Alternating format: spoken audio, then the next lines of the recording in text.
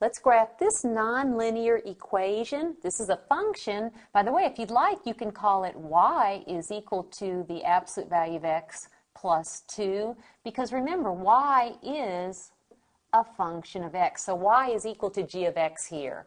Either way, we're going to write down ordered pair solutions of our function. If x is negative 3, here or here, it makes no difference. The absolute value of negative 3 is 3. 3 plus 2 is 5. If x is negative 2, the absolute value of negative 2 is 2. 2 plus 2 is 4. The absolute value of negative 1 is 1. 1 plus 2 is 3. Absolute value of 0 is 0. Plus 2 is 2.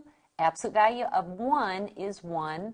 Plus 2 is 3. The absolute value of 2 is 2, plus 2 is 4, and the absolute value of 3 is 3, and 3 plus 2 is 5. Let's plot these ordered pair solutions so we'll see what the shape of g of x looks like. At negative 3, we've got 1, 2, 3, 4, 5, negative 3, 5.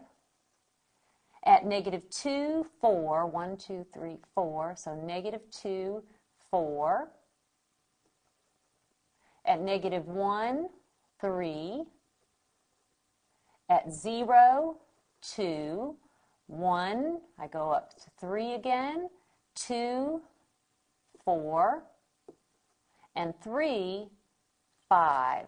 Now, it's not the same shape as a quadratic. An absolute value is more of a V shape. There's a sharp turn here.